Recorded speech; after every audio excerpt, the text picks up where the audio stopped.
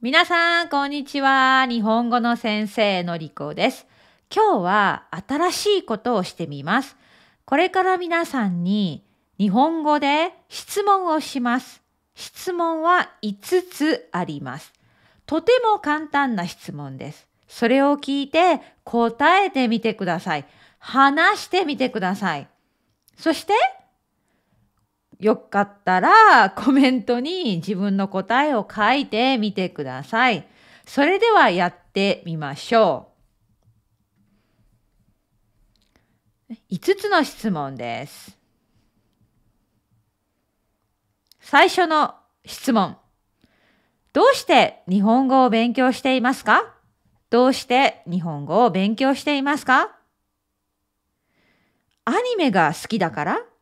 日本の文化に興味があるから日本で働きたいからいろいろな理由がありますね。私は韓国語を勉強しています。韓国のドラマが大好きだから韓国語の勉強を始めました。質問2。好きな色と嫌いな色は何ですか？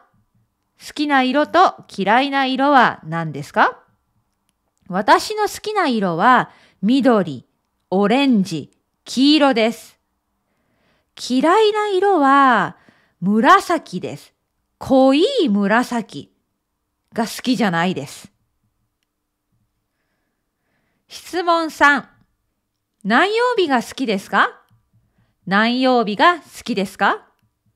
私はやっぱり金曜日です。金曜日が一番好きです。週末ですから、金曜日、リラックスした気持ちになります。質問4。何語を話しますか？何語を話しますか？私は日本語と英語を話します。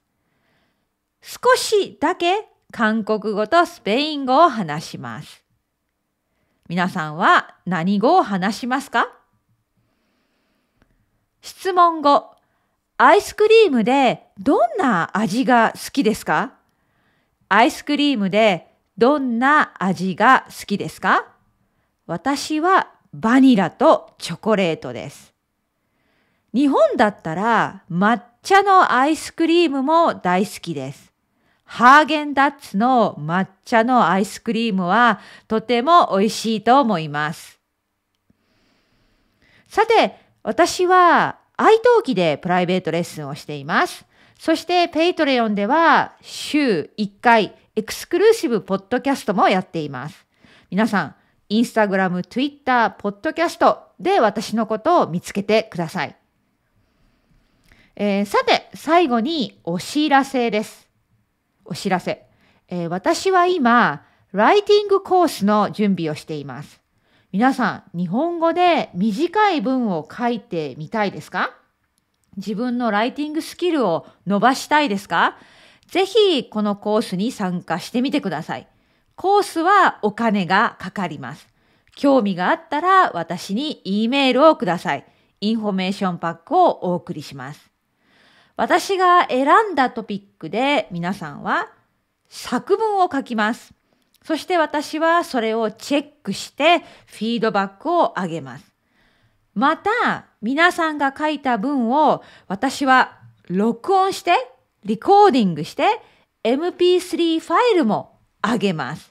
そういうコースになっています。興味があったら E メールで連絡してください。それでは今日は新しいシリーズ、質問をします。皆さんはそれに答えます。